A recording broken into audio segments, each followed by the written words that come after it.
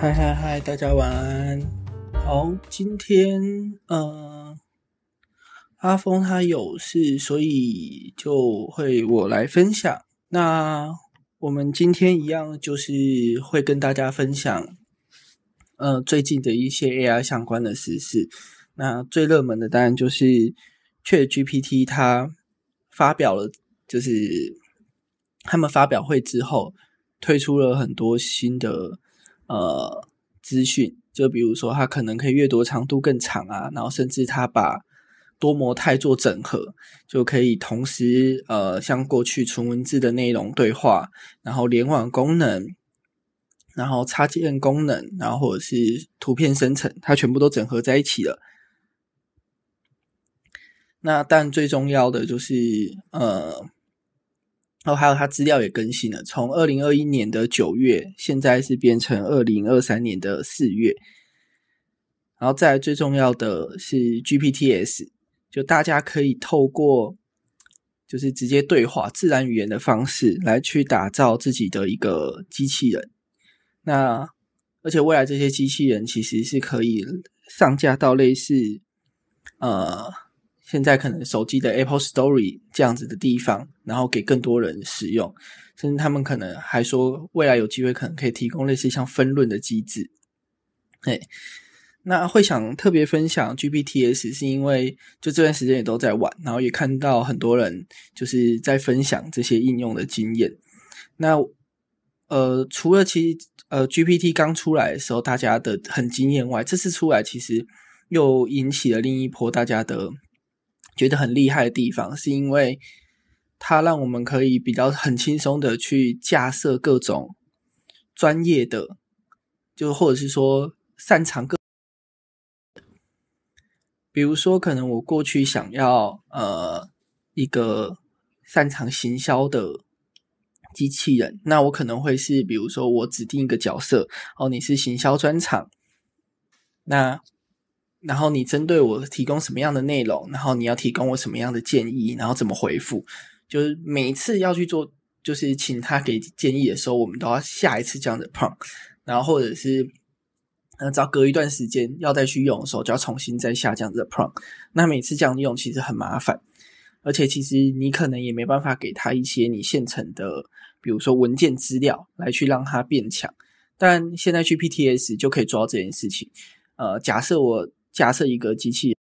可能行销专家，那这个行销专家我就可以设定他，就是在他的呃介介绍里面就介绍他说，哦，他是一个呃行销专家，然后他擅长什么样的事情，然后他可能会用什么样的风格去回答问题，然后他看事情的角度会是怎么样，这些东西我们都可以很详细的去把它设定下来。那你就会有这样子的一个角色在，然后，然后甚至你还可以就是呃传给他一些你的可能资料，比如说，哎，你自己其实本身可能或者是说有一些行销相关的资料，你想希望他参考这些东西去回答你的问题，你也可以提供给他。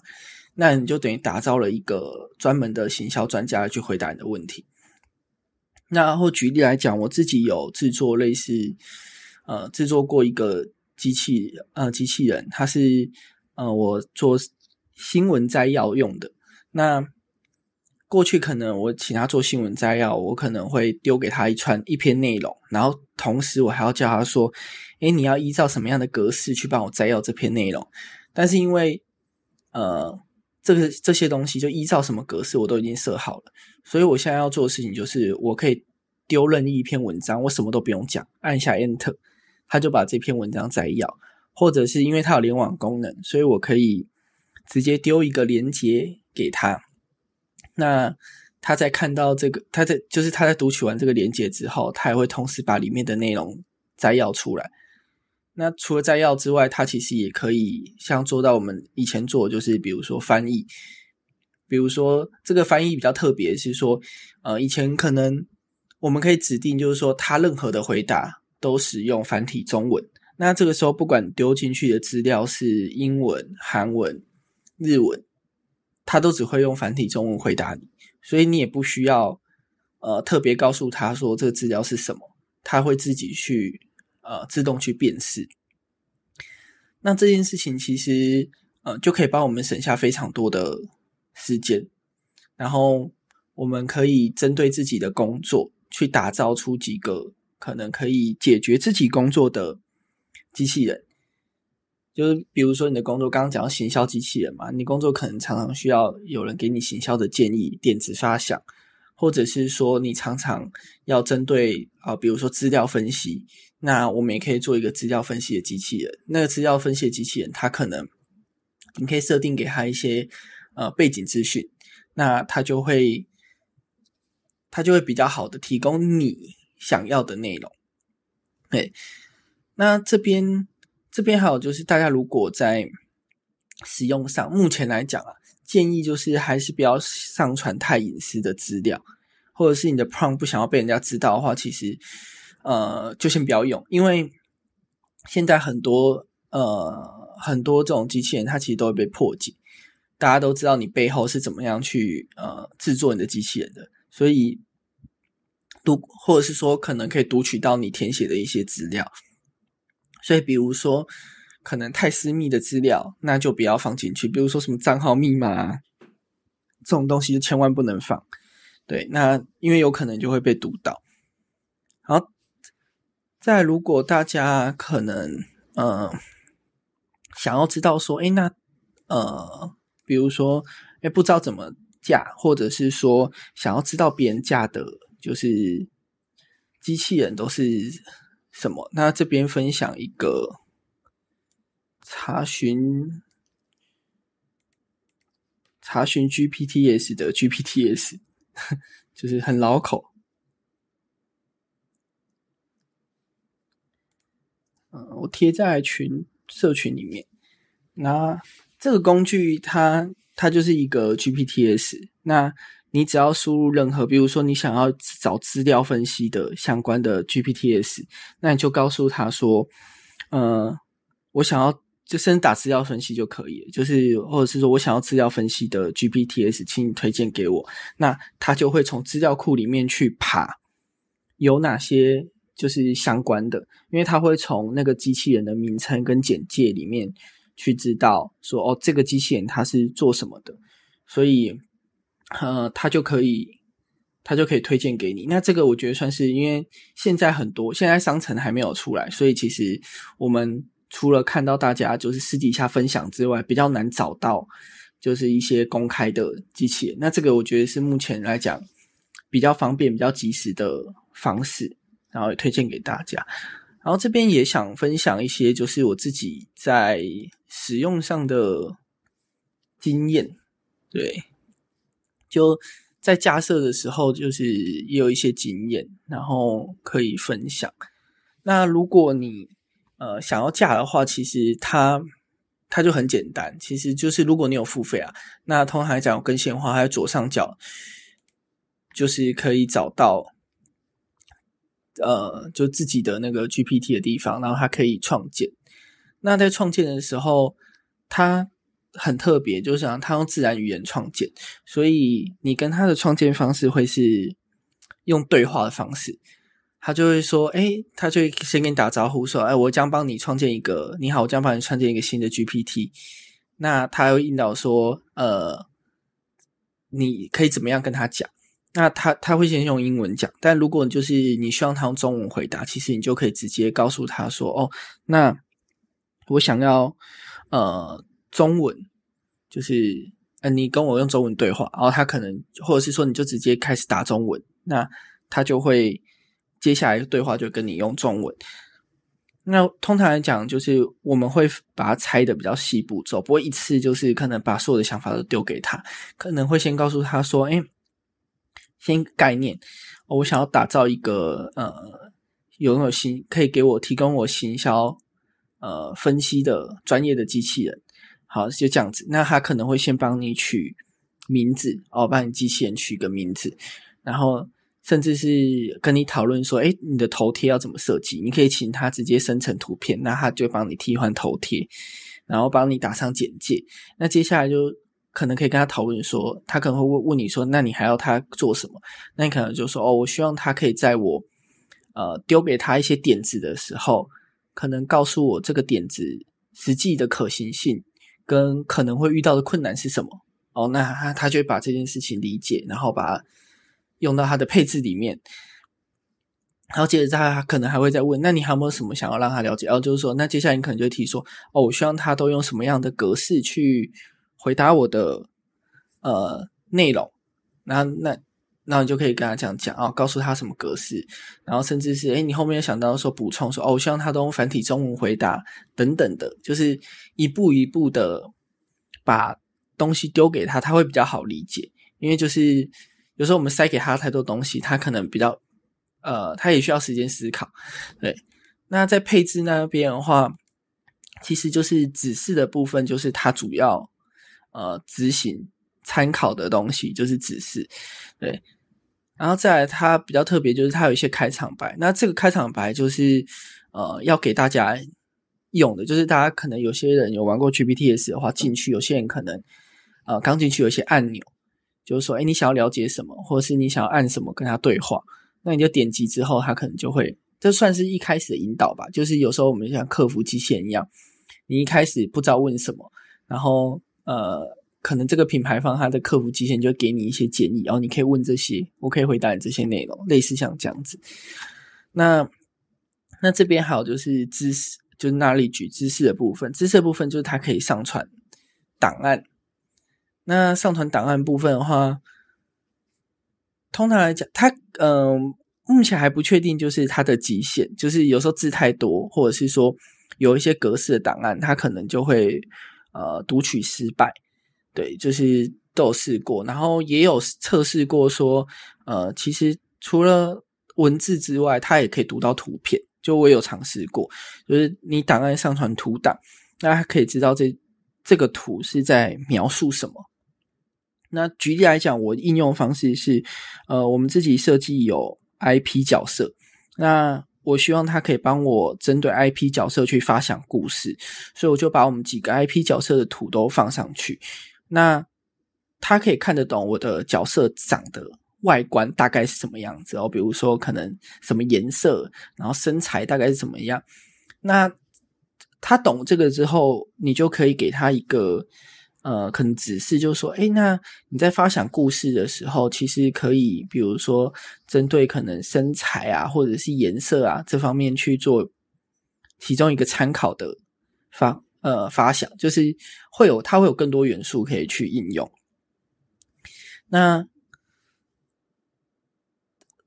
嗯，再来的话就是像图，嗯，这边就是资料嘛，就是文字，然后我们可能常见就是 TST 档啊、PDF 档，它其实都可以读。然后它基本功能也都有，比如说它可以勾选开启网页浏览功能。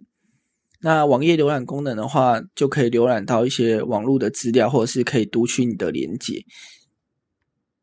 那这个可能连接部分的话，其实有时候也要看，因为有的网站可能会挡。那有些连接都没办法，然后再来就是你需不需要它有图片生成的功能，然后再来就是代码解释器，就是呃可能资料分析，就是它把过去它整理在这边，然后这边再分享一个我之前用代码解释器做可以，但是现在做呃不太比较没有成功，但是可能是它的一些就是不确定是 bug 什么，就是过去我可能可以上传一张图片。然后再上传字体，请他把文字放到图片上，但是呃，目前用知识就是哪里绝部分上传档案，是没办法去呃读到或者是说使用的，对，我是使用经验分享给大家，然后再来，如果大家想要更进阶的玩，就是有一个叫 A 选的。对，就是我我也只是有稍微玩一下，因为它就是比较复杂。那它可以串接一些像 Zephyr，就是自动化工具。那举例来讲，自动化工具呢，它可能可以串呃，比如说 YouTube。那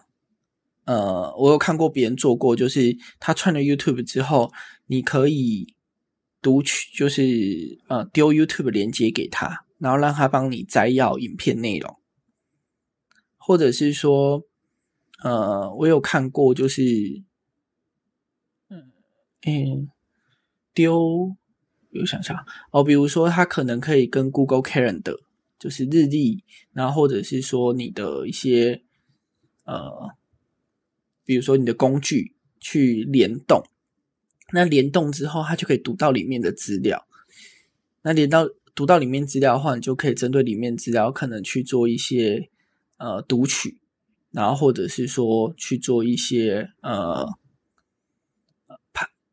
新增等等的。但，但这就要看你的自动化工具串什么，对它就可以做到什么事情。可是刚刚先刚刚讲的一样，就是如果太隐私的，还是比较就是。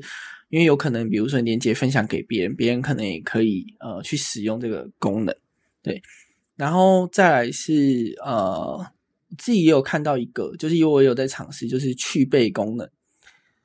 嗯，去背的功能这个东西蛮有趣的，就是我们可能可以请它生成图片。那我自己用是没有到效果很好，但是有。看有用过别人的，它效果是蛮不错。就可能输入给他一个词，那他就生成一张图片给我们。然后生成完图片的同时呢，他会把图片的，比如说生成一只狗狗，那他会把狗狗之外的其他图地方给它就是去背掉，然后你就可以有一个去背好的 PNG 档，就是下载下来，然后直接使用。对，那他用的是呃。Open CB 就是它本身有内建的一个就是工具，但我自己用是没有去的很成功。但是我想可能是我的 prompt 就是下的可能下的没有很清楚或没有很好，所以它可能在去背的时候就是呃会会搞错，就是所以它图片出来的效果没有很好。对，那我自己也有尝试过去接一些可能。去背的工具的 API，那在串的时候，其实会发现呃发生几个问题。就如果大家可能之后可能会搞不好类似的工具会类似的问题。就我们在 ChatGPT 上生成的图片，它是 Web 呃 P 的档案，就是网页档案、图片档案格式。那像是一些去背工具，它可能都会限制档案格式是 PNG 档或 JPG 档。所以像我这样串接的时候，它就是因为没办法，档案格式不对，它就是一直失败。对，但我可能之后会测试尝试说，也许能不能可能能串多少工具，比如说先转档，然后再转完之后再去去背。对，但这这就整个过程就会变复杂。好，然后这是呃一些用的。心得，然后看一下，好，然后再想分享是前面有提过，就是他这次有呃多模态整合，就是我们可以把呃纯文字联网，然后或者是图片判读，然后或生成，这些都是组合在一起。那组合在一起，其实呃可以有什么比较好玩的应用是？我自己就是可能试过，或者是说想到的，也想跟大家分享一下，大家也可以玩玩看。像是过去可能我要呃分析一张图片，那他可能是只能用不联网的方式去跟我分析说这张图片的一些效果。但我今天可能请他分析完之后，甚至能够让他，比如说呃。上网去找一些资料来去，比如说佐证这些内容，或者是说可能可以帮我去查一些资料，就是我不用切来切去，我可以直接在一个地方去完成。那或是说我可能诶，比如说告诉他说我想要呃，比如说写一篇文章，然后文章出来了，那可不可以比如说针对这文章帮我去生成图片配图？那它其实可以同时生成文章，然后又同时帮我配好图片。那或者是说，可能我想要就是说，哎，跟他讨论简报，然后，然后我简报可能想要做某些图片，那我就告诉他说，哎，可能就在一个地方，可能跟他沟通完，哎，简报的内容了，那接下来就跟他说，哎，那我想要什么样的图片？那你可以就是生成一个符合可能简报尺寸十六比九的图片给我，类类似像这样子的东西，然后或者是说，哎。可能你想临时想到查网络的可能什么资料，然后放到简报中，那你这个时候也可以就是说，哎，你可以帮我查，就是可能最近的哪跟什么有关的相关的新闻，然后请他帮我列出几则来。类似像这样子的呃内容，其实他都可以去做到。对，然后再来是呃。像这个功能，或者是说 GPTs 的功能，它他们可以读取图片，然后给建议之后，其实像嗯设计师，其实在使用上，过去啊，过去使用上可能会发现 HPT 很少跟设计相关的呃帮直接的帮助，就是很少对设计本身直接帮助，可能帮我们解决一些呃其他的杂事。但是以来讲好了。嗯，我们刚刚讲说它会图片辨识嘛？那我自己以前在刚学设计的时候，会有呃，会自己去分析图片，然后去看这图片哪里好。那其实现在这件事情是可以跟 ChatGPT 去相辅相成，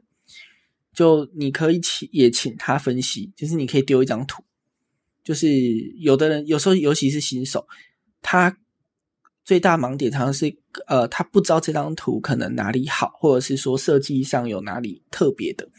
那他会描述，他会跟你描述说，哦，他因为他可能，呃，做了什么样的设计，然后留白，然后或者是有什么样的巧思。重点是，比如说一些广告好了，他其实读得懂创意，就是他知道说，哦，这个东西是一种创意。比如说，我之前用过一个咖啡的，然后，那他就知道咖啡跟提神这件事情，就是可能可以让你工作更长，这个东西它是有连接的。然后再或者是说，嗯，有看过一个案例是麦当劳有一个小夜灯，它是用薯条的盒子做的，然后灯照出来的样子就很像是薯条。那他懂这个梗，然后也说哦，为什么可能会用小夜灯？是因为小夜灯是。很多人会懂的东西，然后也有温馨啊、家庭的感觉，所以可能用这种东西去你做这种创意，然后是光的这种玩法，就他可以懂这些东西。那有时候这些东西是可能一些设计新手，或者是你是行销创意的新手，你不一定可以马上判断的出来的。然后甚至是说，如果你单纯就是就只是想要做分析报告。那他也可以帮你节省很多时间，因为他可以把第一遍就帮你把一些东西抓出来，你有东西你就只要重新把它论事，甚至去补充，然后稍微调整，哎，那你的一个就是一些创意的分析案例你就做完了。对，所以，嗯，我觉得不管是拿来辅助学习，或者是拿来辅助工作应用，那它。多了一些可能图片的功能啊，或资料分析的功能，甚至联网的功能，我觉得都可以帮我们减轻很多呃负担。然后最后最后分享就是想说，如果大家想要测试呃 GPTs 的应用，我觉得可以先从你身边可能呃常在做的工作，就是你手边可能常在做一些嗯。设，比如说设计、行销、企划，然后或者是说你可能日常都会，呃，回 mail，然后客服等等，就是你可以先列出来说，哎，你日常会有哪些工作内容？那这些工作内容它有什么，嗯，难点或是重复性的事情？那这件事情就可能很大机会，你可以尝试把它，是不是可以做一个机器人帮你去解决这件事情？呃，举例来讲，客服好了。那有有的客服，你可能比如说文字客服，你可能不太知道该怎么回。那这时候你可能就可以，或者说你每次回，有时候怕不小心没有遵守一些你们的守则啊，或者是说，呃，你觉得每次很麻烦，就是你其实很熟悉这东西，但每次都要打很麻烦。那你其实就可以把相关的守则、技巧都把它写进这个 GPTs 里面，然后叫他参考这个东西。然后，那你这个时候就把客人的回复丢进去，那他就会知道说，哦，我就要遵守这些守则来回复这个内容。那你丢给他，他就回复好；你丢给他，他就回复好。那你要做的就是确认他回复的内容是没有问题的。你还是要做把关这件事情，但是你会少了很多可能呃打字的时间啊，就是去构思的时间。对，那这个这会节省很多精力。那甚至是可能，比如说你会需要回更多的时候，那你其实就可以节省，呃，就可以很简单的一次就是回复很多讯息，就加快这个流程。那其实大家套用到其他的工作上也是类似，就是你需要找到自己的呃工作中有什么东西会需要重新去太重复的，然后或者是说可以重新去调，是用 AI 的方式来去解决。对，但最重要就是你要先把它列出来。就是你先工作中有什么，你把它列出来，然后这个工作它有什么样的特点，它是属于哪一类型的？比如说它是资料分析的，它是呃会需要很多文字撰写的，那它可能，诶，它可能可以对应到，诶 c h a t GPT 能不能解决资料分析？诶，可以，那它就有机会帮你解决这件事情。那比如说 c h a t GPT 可不可以设计一张图片？呃，目前来讲不太行，它只能可能跟顶多给你建议。但是它不能设计图片，所以它没办法可能解决我们实体操作这一部分的功能。但是，诶，它可以解决什么？哦，我设计完图片，我可以丢给他看看，他有什么想法？因为我实际测试过，就是一些可能我的学员的一些图，诶，他真的可以看得出来，呃，一些不足的地方，可以调整的地方，它是可以，它是可以看出来。尤其是对于就是可能一些新手来讲。呃，那个帮助是我觉得蛮显著的，因为他们会有很多地方还不足，会需要人家给建议。对，那如果你是主管，那这个这件事情其实也可以减轻很多负担。比如说，他先丢给机器人看一遍，哎，改了一遍之后再给他的一些建议，或花的时间检查时间就会变少了。对，就是善用这件事情，其实可以解决很多呃困扰。好。那今天主要的分享就会到，就是告语到这边。那会想问，就是大家有没有人有，就是想要有问题或想要聊聊的，就是也欢迎大家举手，那我可以邀请大家上来一起聊聊。那如果没有的话，那我们就到这边喽。好，那感谢大家。对，礼拜五晚上还就是那么晚了还上来听，十点半，十点半了，大家可以早点休息。好，大家晚安，大家晚安。